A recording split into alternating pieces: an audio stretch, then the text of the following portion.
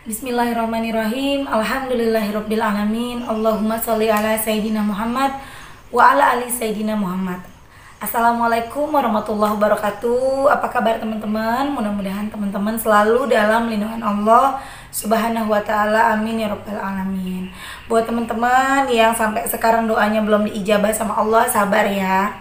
Doa itu pasti dikabulkan. Setiap doa kita itu pasti diijabah sama Allah, yang penting kitanya mau sabar. Nah, kali ini aku akan uh, membacakan beberapa testimoni dari uh, tiga sahabat kita.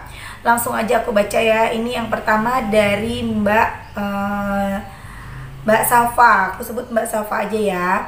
Uh, jadi Mbak Safa ini sebenarnya udah sering ngasih testimoni buat aku. Aku cerita sedikit Mbak Safa ini punya hutang ya. Tapi hutangnya ini uh, hutang uh, dulu pacarnya yang uh, minta bantuan sama Mbak Safa itu sekitar 22 juta ya teman-teman sekitaran segitu ya 20 sampai 22-an lah Kemudian Mbak Safa uh, uh, bersolawat karena ingin menda segera mendapatkan jodoh. Kemudian uh, karena uh, adiknya juga sudah mau menikah deh waktu itu aku ceritanya sama aku ya tahun lalu ini di 2021 ini dari 2020. Tapi masya Allah Mbak Safa ini sampai sekarang uh, belum menemukan jodoh terbaiknya. Mungkin kata Allah nanti sabar. Jadi hutangnya tuh di sama Allah perlahan-lahan dilunasin dulu. Langsung aku baca ya Teh, aku mau bilang makasih sama Teteh dari Januari sampai sekarang. Alhamdulillah, rezeki aku lancar dan masih dikasih sehat. Hutang riba aku udah selesai, tinggal fokus jodoh. Tuh, udah selesai hutangnya. Uh, mohon doanya ya Teh Meli. Alhamdulillah tiap hari ada orderan risol, bubur sumsum, -sum, dan kue-kue yang lain Teh. Masya Allah, Alhamdulillah, Insya Allah bentar lagi urusan jodoh beres. Amin teh, aku pasrahin sama Allah. Allah yang lebih tahu teh. Kemarin lagi diberesin keuangan sampai sekarang. Omset jualan risol melonjak teh. Makasih ya teh Meli, solawatnya. Alhamdulillah. Aku, kemudian kan aku nanya ehm, solawatnya gimana gitu kan. Kemudian beliau jawab, aku ikut grup teh Teh Meli yang solawat munjiat satu hari seratus aku baca terus sama Riadoh Teh Meli seribu sehari aku baca terus.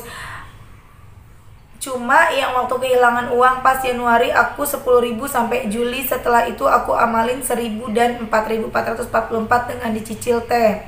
Masya Allah prosesnya lumayan ya mbak. Alhamdulillah Amin teh, uang 22 juta nggak sedikit dan nggak mudah teh hanya karena mantan aku. Yang aku ambil hikmah, nggak boleh gampang percaya dan selektif. Waktu 8 juta aku pinjam dari kartu kredit, sisanya uang tabungan aku teh. Walaupun saat ini tinggal balikin uang tabungan 13 juta lagi, insya Allah beres. Karena pandemi aja dari Maret sampai sekarang nggak ada lemburan. Aku bersyukur masih bisa bekerja dan makan, masih dapat fasilitas dari kantor teh aku sekarang belajar buat tidak gampang percaya dan sekarang nikmatin yang dikasih Allah teh walaupun kerja sambil jualan dari masalah Allah mengajarkan kita menjadi dewasa. Nah, teman-teman, ambil poinnya. Dari masalah Allah mengajarkan kita untuk menjadi semakin dewasa. Lanjut ya. Aku yang aku bilang Masya Allah hebat. Aku yang makasih sama teteh jadi semakin dekat sama Allah. Perjalanan hidup orang beda-beda, ada yang doanya hari itu dijabah Allah langsung dan ada yang proses. Teh, boleh aku nanya? Boleh. Teh, Allah lebih tahu hati kita ya saat ini dibutuhkan, yang dibutuhkan. Aku dari awal Desember kemarin berpikir apa aku bisa lolos ke bank. Baru setelah proses merger penggabungan tiga bank Jumat kemarin Allah menjawab doaku teh Alhamdulillah aku lolos dan dipanggil atasan aku mau jadi apa. Yang aku rasakan teh Allah lebih ke rezeki belum ke jodoh Supaya bisa bantu orang tua aku ya teh. Kalau udah siap hati dan keuangan Allah hadirkan ya teh Waktu yang tepat dari Allah. Kemudian aku jelasin benar Allah kan lebih tahu. Kita pengennya jodoh Allah lebih tahu. Kita tuh belum belum belum butuh banget belum cocok lah gitu misalnya nanti kamu nggak cocok dulu ini kamu itu dulu gitu loh teman-teman. Terima kasih teh cerita sama teh Meli adem banget. Alhamdulillah Kemudian uh, jadi memang memang Mbak Safa ini uh, sering ngechat aku ya dan Mbak Safa juga sabar banget ketika uh, kirim chat aku jawab jawab itu kadang besoknya gitu ya. Masya Allah teh aku udah lihat tayangannya sangat bagus kita sholawat pasrah dan ikhlas kapan Allah akan jawab. Aku belajar soal jodoh berdoa nggak mau sebut nama dan aku berusaha minta yang baik menurut Allah. Teh Alhamdulillah berkat sholawat hari ini aku dapat insentif dan, dan voucher belanja 250 oh, makasih Teh Meli. Oh Masya Allah ya dari Mbak Safa. Mbak Safa ini baca sholawatnya udah setahunan teman-teman. Kenal sholawat uh, maksudnya mulai ngechat aku aku lupa ya uh, tanggal bulan apa. Cuman uh, Mbak Safa kan tadi bilang dari bulan Januari sampai Desember ya mungkin itu Berarti kan kurang lebih setahunan ya Mbak Safa fokus sholawat dan sampai sekarang keinginannya belum terkabul yaitu jodoh. Allah lebih tahu kita minta jodoh sama Allah belum dikasih berarti memang menurut Allah belum tepat dikasih sekarang. Kita minta rezeki malah dikasihnya yang lain berarti Allah lebih tahu kalau kita butuhnya yang lain. Seperti itu ya teman-teman. Lanjut sekarang dari Mbak Intan. Alhamdulillah berkat salawat munjiat sama Naria seribu kali seribu kali dikasih hijab segi empat ya Allah. Setiap hari live dagang lewat FB Mbak Mel. Terus aku liatin aja. Karena ganti-ganti hijab terus mereka dagangannya di Bandung. Kalau live dagang aku liatin mana yang aku suka. Terus nggak lama aku tanyakan ada nggak teh hijab segi empat? Ada. Tapi tinggal dikit. Eh dikira cuma dibaca aja sama orangnya. Taunya dikirim mbak karena kemarin juga salah kirim tapi alamat dari dia. Alhamdulillah belum aku transfer tapi bilangnya buat teteh aja. Karena aku sering lihat live mereka makanya kenal. Masya Allah tuh ya teman-teman. Jadi Mbak Intan ini sering nonton live orang jualan hijab yang ada di Bandung. Mbak Intan ini tinggalnya di Jakarta. Kemudian uh, dikasih jilbab. Padahal uh, beliau ini kepengen jilbab itu jilbab segi empat dan dikasih gratis tuh. Masya Allah teman-teman makanya dan uh, Mbak Intan ini rajin sholawatan setiap hari seribu seribu gitu ya. Nah teman-teman uh, baca terus deh sholawat. Jadi ketika kita keingin sesuatu kalau menurut Allah itu pantas Allah tuh kasih loh. Tanpa kita harus berlama-lama minta sama Allah. Lanjut di cerita yang ketiga kita ngebut ya.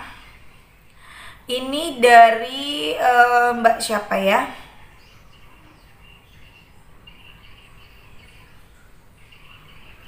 dari Mbak Anisatul.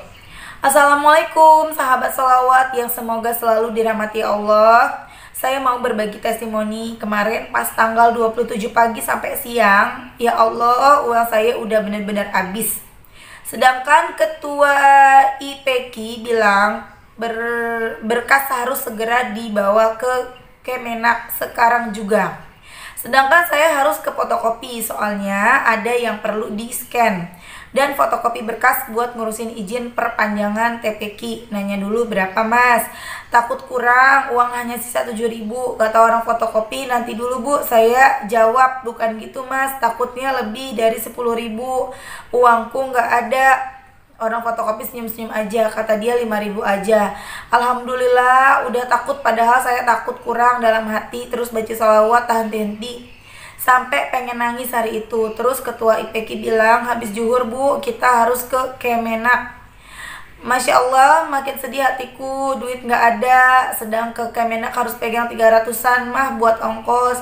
Saya sampai kayak orang ngemis-ngemis minta tolong ke temen pinjam 200 temanku jawab bu nggak ada Ya Allah berlinang air mataku. Terus saya coba teman yang satu lagi pinjam 200 buat ongkos. Alhamdulillah langsung bilang ada bu. Sujud syukur saya sambil nangis. Pas yang udah ada eh ketua IPK nya bilang Bu jangan sekarang ya badan saya kurang sehat. Alhamdulillah rada lega. Terus saya geber lagi sholawat sambil berdoa tahan tinti Sore jam 4 dikabari teman gaji dari BOP cair. Subhanallah Seneng banget saya sujud syukur lagi. Pas kemarin Senin jalan ke Kemenak. Di tengah perjalanan dapat kabar lagi dari teman-teman honorer kalau BPJS cair juga. Ya Allah benar-benar sampai nggak percaya saya subhanallah Allah memberikan rezeki yang bertubi-tubi di saat hambanya benar-benar membutuhkan. Sekian testimoni saya. Maaf bukannya ria cuma pengen berbagi testimoni aja Kalau kebaikan selawat itu nyata dan benar-benar nyata. Masya Allah ya Masya Allah banget. Kemudian Kemudian aku jawab Masya Allah dan sama Mbak Adi satu dijawab lagi ya iya Mbak Mel makasih atas motivasinya ya.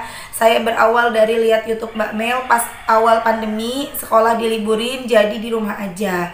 Sedangkan kebutuhan banyak saya coba-coba buka YouTube eh nemu channel Mbak Mel. Sampai sekarang saya jadi semakin rajin bersolawat. Makasih ya Mbak atas ilmunya juga sama-sama Mbak. Masya Allah Masya Allah Masya Allah banget ya teman-teman. Jangan pernah tinggalin solawat minimal sehari seribu kali. Seribu kali itu ringan. Dicicil setiap habis sholat 200 baca. Duduk diem habis sholat baca 200 sallallahu ala Muhammad aja minimal. Kalau bisa yang panjang ya alhamdulillah. Allahumma sholli ala sayyidina Muhammad wa ala ali sayyidina Muhammad cuma kan uh, kegiatan kita setiap hari beda-beda ya kesibukan kita ya. Ada yang bisa duduk diem uh, selama 10 menit bahkan 30 menit setelah sholat gitu kan. Tapi ada yang nggak bisa saking sibuknya. Bisa sholat aja udah syukur. Bisa semenit aja udah syukur gitu ya. Bacalah yang pendek juga nggak apa-apa. Tapi istiqomah karena Allah itu lebih suka sama yang istiqomah teman-teman. Daripada kita baca 10 ribu nih hari ini. Besoknya kita lupa baca mending kita baca sehari seribu tapi istiqomah berhari-hari, berminggu-minggu, berbulan-bulan. Nanti ketika kita ingin sesuatu itu dikabulkan sama Allahnya cepat. Dan itu juga aku rasain ketika uh, aku alhamdulillah nggak bermaksud ria memang karena aku kan juga uh, mengingatkan teman-teman untuk bersolawat nggak mungkin dong aku ngingetin teman-teman solawat sementara akunya nggak solawat ya kan uh, itu juga jadi, jadi salah satu semangat aku. Aku nggak mau asal uh, ngomong ke mana-mana sholawat sementara aku nggak ngedawamin gitu kan. Nah ya seribu seribu mah insya Allah ya kan teman-teman. Kemudian ketika karena aku uh, udah sering baca doa ya udah pasti setiap habis sholat doa setiap sujud doa. Nah ketika ada satu urusan yang baru aku hadapin terus penting banget itu aku minta sama Allah. Salah satunya aku kepengen banget uh, adopsi kucing ya Persia. Jadi anakku nih sering main. Jadi awalnya tuh gini teman-teman. Anakku kan sering main di luar. Mungkin teman-teman yang suka ada di Instagram suka lihat postingan aku anakku suka main mobil-mobilan ya. Itu lumayan lumayan juga ya. Karena kan dua anak uh, yang setengah set, satu setengah jamnya itu 25 ribu dua anak 50 ribu itu setengah jam. Kalau satu jam udah berapa gitu kan. Belum jajannya belum mainannya belum lagi sampai rumah mereka tuh masih main HP kadang sampai rebutan berantem cuma gara-gara HP makanya aku bilang daripada beli handphone eh daripada Pak bilang daripada beli mainan jadi sampah, kemudian uh, main-mainan gitu ya setiap hari, aku juga jadinya keluar terus. Mendingan uangnya ditabung, kita adopsi kucing. Dan ternyata anak-anak seneng banget. Kemudian kita mulai mencari kucing kita adopsi. Dan itu tuh susah banget teman-teman. Ternyata nggak mudah. Mungkin kalau di luar e, Tarakan mungkin banyak ya kayak di, apalagi di Pulau Jawa ya banyak. Tapi di sini susah banget. Kita nyari anak kucing tuh susah banget. Sampai e, kita malam udah nego eh kita malam udah deal mau gitu ya. Udah seneng banget lihat fotonya. Pagi-pagi ke sana aku udah beli kandangnya dan ternyata di sana eh, nggak e, ada. Orang yang bilang uh, udah diduluin orang gitu kan. Kemudian dia janji sore. Sore juga gitu. Maaf nggak ada nggak jadi. Nah terus kan kita bingung ya. Aku cari-cari di forum komunitas uh, kucing di Tarakan dan akhirnya aku banyak yang nawarin. Cuma itu di luar-luar kota. Ya kita wajib perlu khawatir ya takutnya penipuan gitu kan. Apalagi yang diiming-imingi dengan mahar yang murah. Kemudian aku berdoa. Ketika aku duha tuh aku berdoa ya Allah pertemukanlah dengan uh, kucing yang sehat yang cantik, yang lucu dan maharnya tidak terlalu mahal atau murah aku bilang gitu kan. Kemudian sampai uh, zuhur aku berdoa gitu lagi.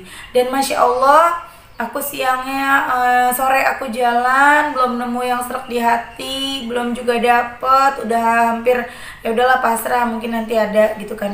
Tiba-tiba ada temen yang info ini ada yang baru upload nih uh, ada yang lepas adop gitu kan.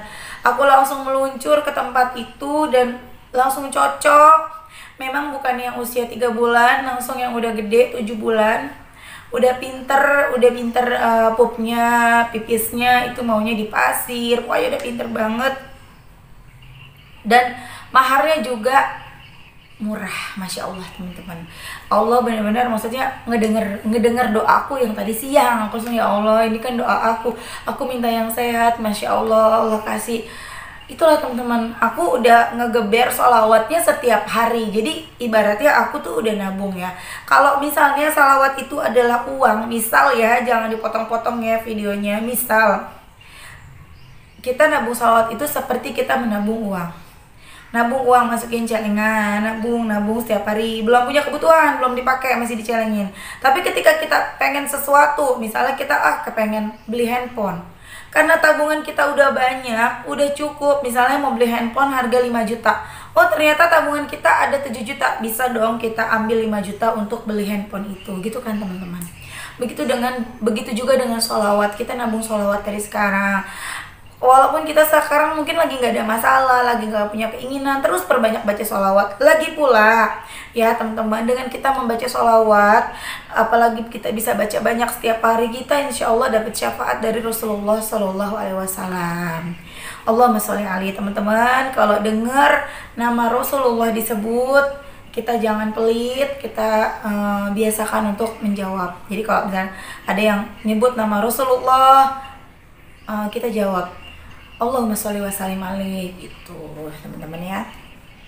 Oke teman-teman uh, mudah-mudahan video kali ini bermanfaat. Aku minta doanya supaya aku sehat terus. Bisa selalu berbagi testimoni ke teman-teman. Kemudian uh, doain aku juga ya supaya jualan aku lancar barokah uh, bisa segera pulang ke Jakarta, sekeluarga bisa tinggal di Jakarta lagi, di Bekasi, dekat orang tua kita. Terima kasih teman-teman udah nonton. Jangan lupa di-share kalau menurut teman-teman video ini bermanfaat untuk uh, teman-teman kita yang lainnya supaya makin mengenal sholawat. Satu lagi, uh, ada juga yang tidak sependapat dengan kita mengenai sholawat, ya. Dan bahkan itu juga di yang ngomong ustadz ya teman-teman. Jadi ada dua pendapat yang membolehkan kita bersolawat karena kepengen sesuatu dan tidak. Ada yang membolehkan kita baca solawat banyak dan tidak, ya teman-teman. Teman-teman tinggal pilih mau ikut yang mana. Kalau aku sudah pasti aku ikut yang membolehkan. Karena baca sebanyak-banyaknya memang kita tuh disuruh. Karena di dalam Al-Quran juga ada Allah dan malaikatnya bersolawat untuk Nabi. Masa kita nggak mau solawat? Ya teman-teman ya. Oke teman-teman, terima kasih semuanya. Assalamualaikum warahmatullahi wabarakatuh.